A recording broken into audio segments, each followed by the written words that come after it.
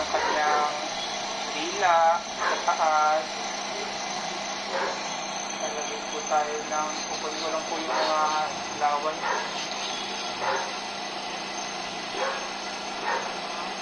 Tingnan natin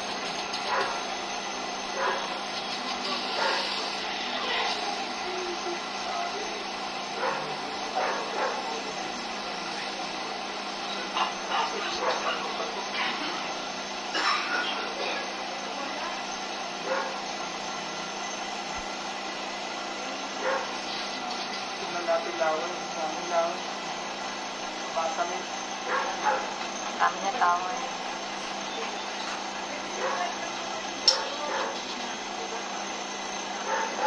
Gusto ko lang mami dyan ha. Oo. Bababa na po tayo eh. Ito na po yung esophagus. Oo. Super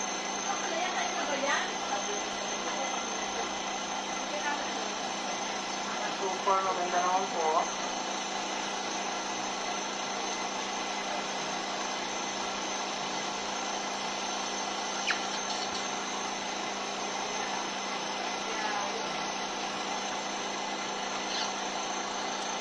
Rin natin pabalik-balik na Yes po. Oo, okay.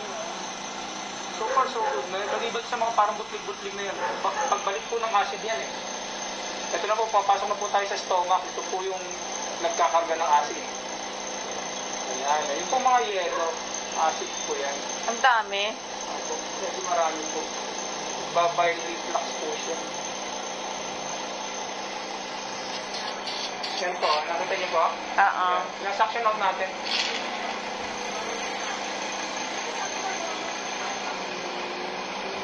Yan po. Oh. Yan ang loob ng store. Ayan po, yung parang mga gas-gas. Yung pong parang nunal na yan, parang ano yan, previously nag-bleed yan. May dumugo dyan, kaya po sakit parati. Yan po, daming gas-gas. Ha? Pakita ko lang po, ha, mami. Pwede naman pang ano. Ah, kaya pa ulit-ulit siya. Apo. I- Babiopsy po natin. Baka po, ano, ang daming gas na eh, oh. Kita niya, parang kagat ng lamok. Oo. Ano? Umiinom ba ito ng alak? Hindi po.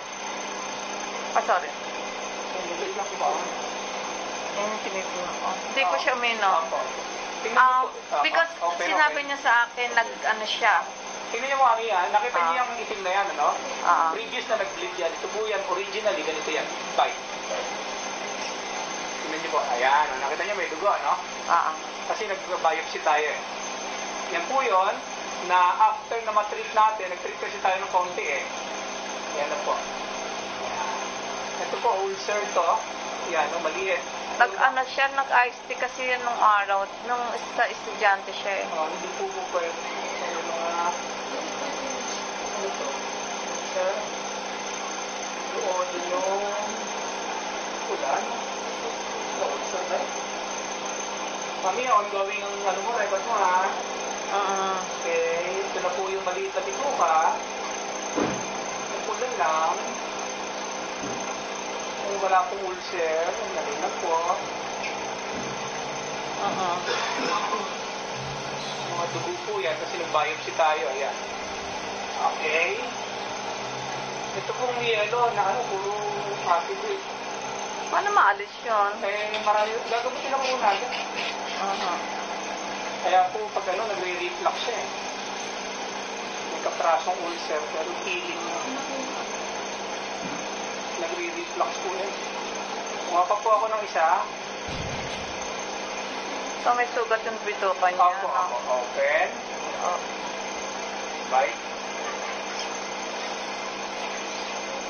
Yan po mga pula na surrounding area. Ito yung mga sugat. Ito po mga dilaw na ito, sinaction out natin. Yan po yung mga acid. Pero isang ulcer na kapiraso, dali lang naman po yan. Siya pa, tol. Ito, ayan siya. Yan, no? mga ulcer na maliliit, no? yung parang, yan. Papunta po sa palakihan, papalaki po yan kung hindi ma ma- makapula. Ulcer is hindi naman siya nagugutom ah. Opo. May mga ulcer. Ano po yan eh? Superficial ulceration ang tawag. Bakit? Kain nga siya ng kain eh. Ito po kasi, yung mga acid na yan, yung mga yellow, sa katagalan po niyan, pwedeng mag ano, pwedeng maka-erode o makagasgas. Uh, check po natin. Okay. Ito na po yung esophagus niya. So far, maganda po. Walang bukol, walang galos. Ang may galos lang po sa kanya, basically yung stomach. Ito pong mga nakikita po natin parang butli-butli. Yung kita mo yung mga parang pimple-pimple na yan. Yan, yan. Ano yan? Ito po ay caused by acid reflux. Mawawala din yan pag nagamot. Aba, matagal lang yan. Mga ilan, ini-stress siya. Ha? So, okay na to, done na tayo. Dan